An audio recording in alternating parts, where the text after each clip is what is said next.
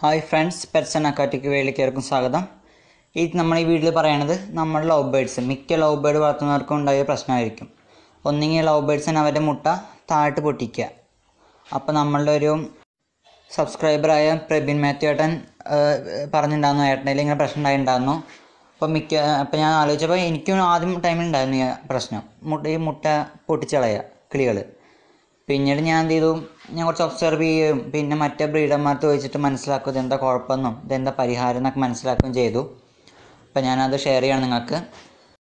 അപ്പോൾ നമുക്ക് വീഡിയോയിലേക്ക് പോവാം. അതിന് മുന്നേ ഈ ചാനൽ ആദ്യമായി കാണുന്നവരാണെങ്കിൽ സബ്സ്ക്രൈബ് ചെയ്തിട്ടില്ലെങ്കിൽ തീർച്ച തീർച്ചയായും സബ്സ്ക്രൈബ് ചെയ്യുക. ബെല്ലേക്ക് അമർത്തുകയാണെങ്കിൽ ഞാൻ ഇടുന്ന ഓരോ വീഡിയോസ് അപ്പോൾ നിങ്ങൾക്ക് കിട്ടിക്കോളും. അപ്പം വീഡിയോയിലേക്ക് പോകാം ഈ മുട്ട പൊട്ടിച്ച് പുറത്ത് കളയൽ ഒന്നീ പാരൻസ് ചെയ്യും. ഈ മുട്ടിട്ട് മാതാപിതാക്കൾ തന്നെ അവരുടെ മുട്ടെടുത്ത് പുറത്ത് കളയാം. അതിന് കാരണം എന്ന് പറഞ്ഞു കഴിഞ്ഞാൽ ഈ മുട്ട ഒന്നെങ്കിൽ കേട് വരാം കേട് കേട് വന്ന മുട്ടയാണെങ്കിൽ ഇവർ കളയും. മുട്ട വിരിയില്ല എന്ന് ഉറപ്പായി കഴിഞ്ഞാൽ ഈ കിളികൾ തന്നെ അത് എടുത്ത് കളയും. അല്ലെങ്കിൽ ഇവർക്ക് കാൽസ്യത്തിന് കുറവുണ്ടെങ്കിൽ ഈ കിളികൾക്ക് നല്ല ഫുഡ് കൊടുക്ക കൊടുത്തിട്ടില്ലെങ്കിൽ ഈ മുട്ട പൊട്ടിച്ച് ഇവർ കുടിക്കും.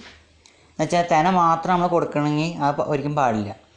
ഈ ദിവസം കഞ്ഞിക്കുറുക്ക തുളസി ഇല അങ്ങനെയുള്ള നല്ല ഇലകൾ ഈ പക്ഷി ലവ് ബേഡ്സ് കൊടുക്കാൻ പറ്റുന്ന ഇലകളൊക്കെ കൊടുക്കാം നമ്മൾ പിന്നെ വെച്ച് കഴിഞ്ഞാൽ ഈ മുട്ടയുടെ ഉണ്ണി അങ്ങനെ തന്നെ പുഴുങ്ങിയിട്ട് തോടോടെ തന്നെ മറ്റേ മുളപ്പിച്ച ധാന്യങ്ങളുമായിട്ട് മിക്സിയിൽ അടിച്ചിട്ട് മിശ്രിതം ഒരു തീറ്റ.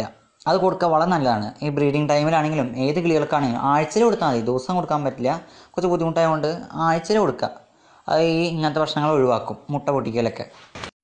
പിന്നെ ഈ മുട്ട പൊട്ടിക്കൽ പ്രശ്നം വരുന്നത് വെച്ചാൽ ഈ ഈ ഈ കൂട്ടിലുള്ള കിളികൾ തന്നെ. എന്ന് വെച്ചാൽ ഇപ്പോൾ ഒരു വേറെ കിളി ആ കൂട്ടിലുള്ള വേറെ കിളി വന്നിട്ട് ഈ കിളിയുടെ മുട്ട പൊട്ടിച്ച് കളയുക അത് വരാൻ കാരണം വെച്ച് കഴിഞ്ഞാൽ രണ്ട് റീസൺ ഉണ്ട്. ഒന്നാന്ന് പറയുമ്പോൾ പാനി കുറയുക ഇപ്പോൾ മൂന്ന് ജോഡി ലവ് ബേഡ്സ് ഉള്ളതെന്ന് വയ്ക്കാം ര- രണ്ട് പാനികളുള്ളൂ അപ്പോൾ ഒരു ജോഡി ലവ് ബേഡ്സിന് പാനികളില്ല കൂടില്ല.